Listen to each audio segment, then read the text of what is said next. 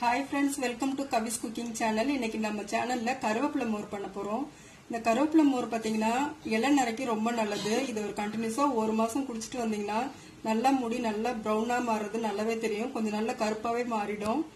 இதுக்கு தேவையான பொருள் என்னன்னா தயிர் ஒரு கப்பு கருவேப்பிலை ஒரு அஞ்சாறு கொத்து ஒரு ஸ்பூன் சீரகம் ஒரு பச்சை மிளகாய் தேவையான அளவு உப்பு. இப்போ இந்த பொருள்லாம் ஒரு மிக்ஸி ஜாரில் சேர்த்துக்கலாம். சீரகம் கருவேப்பிலை பச்சை மிளகாய் உப்பு தயிர். நல்லா கெட்டி தயிரை எடுத்துக்கோங்க. இப்போ இந்த பொருளை நல்லா நைஸாக அரைச்சி எடுத்துக்கலாம். தயிர் நல்லா அரைச்சி அரைச்சி எடுத்துட்டு வந்தாச்சு. இப்போ இதில் நம்ம தேவையான அளவு தண்ணி ஊற்றிக்கலாம் இந்த மோரை நீங்கள் அப்படியே குடிக்கலாம். அப்படி உங்களுக்கு குடிக்க பிடிக்கலன்னா இதை வடிகட்டி குடிக்கலாம்.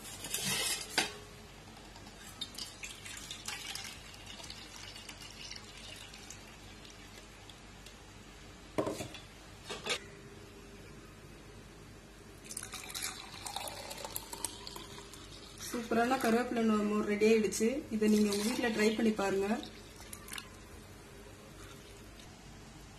இந்த கருவேப்பிலை மோர் ப பச்சை நம்ம கருவேப்பிலை போட்டிருக்கிறதுனால கசக்குன்னு நினைக்காதீங்க. ரொம்ப டேஸ்டா இருக்கும். இதில் நம்ம சீரகெல்லாம் போட்டிருக்கிறதுனால நல்ல வாசனையா இருக்கும். நீங்க உங்க வீட்டில் கண்டிப்பா இதை ட்ரை பண்ணி பாருங்க. உங்களுக்கு இள நிறம் இருந்துச்சுன்னா கண்டிப்பா கருமையா மாறும். இல்ல வயசாயிட்டு நிறம் வந்தா கூட கொஞ்சம் ப்ரௌனா மாறதுக்கு நிறைய சான்சஸ் இருக்கு. இதை கண்டிப்பா ட்ரை பண்ணி பாருங்க.